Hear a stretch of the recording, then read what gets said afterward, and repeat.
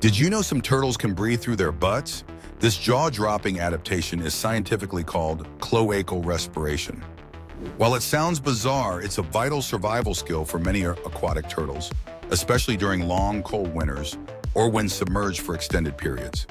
The process centers around the cloaca, a multi-purpose opening used for excretion, reproduction, and, in some species, gas exchange.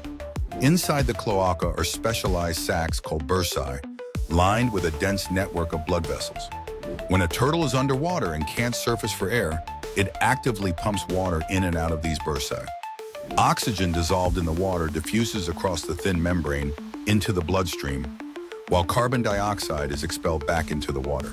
This remarkable ability allows turtles like the Australian Fitzroy River turtle and North American painted turtle to remain underwater for hours or even months without coming up for air.